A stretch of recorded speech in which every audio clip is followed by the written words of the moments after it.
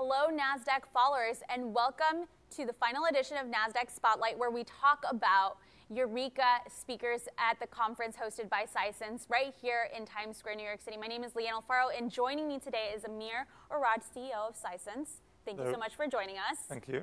And we were just talking about the incredible keynote you gave earlier today, where you talk about mashing up everything and embedding everywhere in this Yep. approach. Tell us a little bit about what that approach means. Sure. So it's a really simple approach. We truly believe that there's gigantic opportunities in meshing up lots of different data sets, everything around you, and embedding those insights everywhere, not just in a computer, but all around us.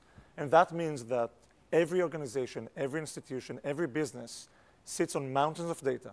And if we can combine it together and more and more together, they can get insights about their business, their customers, operations, marketing, inventory, anything about their business. And the ability to do it very easily without having an army of people doing it for them in IT is a game changer. But taking those insights into a computer screen is not enough. You can embed them everywhere around you. You can embed those insights in your products, in your internal portals, in your processes. But outside them, you can have a watch telling you it's time to take a break. You worked too hard today, right? You can meet someone or go play uh, baseball and have on the ball something that says two hours of training will make you perfect for tomorrow's game. Taking your insights about how you behave, what you do, your background, etc. And that's the future. Insights will be all around us. Wow. And I'm looking forward to that future. Now tell me, what kind of industries are using your platform and who finds it who finds it useful? Sure. So anyone that has complex data sets, rich data sets, um, and can enjoy business transformation. And that is literally everyone. We see a very high focus in healthcare. So we literally had today people like uh, Philips or ResMed describing how they use Sisense with IoT and devices to take patient data, device data, diagnostic information, and embed those insights in the care they give people, um, all the way to aviation, industrial, like Airbus or Air Canada, but educational um, companies, all the way to schools. Everyone are sitting on mountains of unutilized data today. Wow, and that certainly seems like a lot of companies who've adopted your platform have used it as a way to propel their business forward. Correct. There's direct impact on the bottom line. Now, another theme that you touched on in your keynote speech was that of culture. Why is that important to you? So I truly believe that building a healthy business takes the culture within, not just the technology you provide. We are very focused on three things.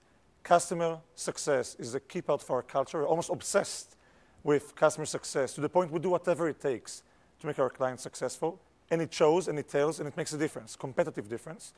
The second thing is innovation. We grew up as an innovative startup. Now we're kind of a late stage company. Innovation is key in an ever changing market. The minute you stop innovating, you start the clockwork to when you die, right? And the last one is just openness. Open to different people, different mindsets, different cultures as a global company. Once you have a lot of me too's in the company, you know, it, the game is over. If you want innovation, if you want real diversity, you need that openness internally. Now, talk to us a little bit about customer success. It comes up a lot when you're talking about your business, as Yeah. you've mentioned. Um, how big of a difference does it make, and how do you hear it from the companies that you're that work with Sisense? Yeah. It makes a big difference because if you embed our technology in your product or service, if you're an airline, if you're a Philips, whoever you are, we better be a good partner, right? And the question is, how do you measure partnership? So we have a few measurements, objective metrics to look at that. Number one, we do an NPS survey, Net Promoter Score, surveying our clients. We have over 60 as the result. It's one of the highest in the tech industry, the highest in our industry, the BI industry, based on Gartner and other people. And that's a $30 billion industry. Having the highest bar is pretty high. Um, second is, how much services do we require someone to pay us to make the thing work? If you require a lot, something is off in the technology or the partnership. Our services as percentage of revenue is less than 1%. Public companies in the space are tens of percent of their business. If I nickel and dime you all the time to pay me to make the thing work, that's not a real partnership. So that's another metric. And then just renewal. If I'm a good partner and I'm focusing on your success, you will renew the business, and the best measurement is customer churn. And we have what's called negative churn. Customers grow with us on a dollar basis versus shrink with us on a dollar basis. Now, let's talk about a hot button topic that we've been asking all the companies that work with Sisense Yeah. all day AI. Sure. What's your take on it? How is it going to tangibly affect companies moving forward? Okay, so AI, in my view, is both overhyped and underhyped at the same time. It's overhyped because we now call AI everything, even a what if equation becomes AI, which is a bit too much. But it's underhyped because truly AI and machine learning are changing and will change our lives. Because if you can come to a doctor with an injury, and in two seconds, a machine can look at you, look at the entire human history of knowledge and tell you what you have, versus wait five hours, you'll save lives. It's that simple. And if you can teach someone, run a factory automatically and cut down cost of uh, goods, you make people's life better. And it's true in anything around us. So AI is a game changer. It's a bit, again, overhyped, but it's about machine learning, fast computers, predicting the future, and it's relevant to every business, every consumer. Even today, when you use Google Maps, I'm sure you use Google Maps when you drive, Definitely.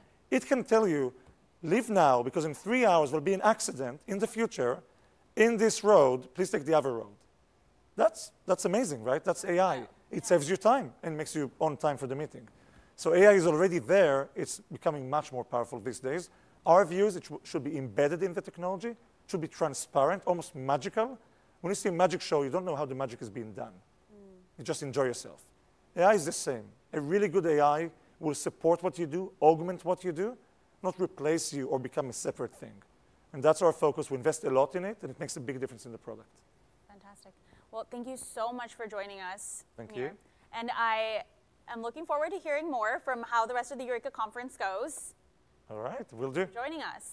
All right, NASDAQ followers, thank you for listening to all of our speakers from the Eureka conference hosted by Sisense. Stay tuned for more programming here on the NASDAQ page.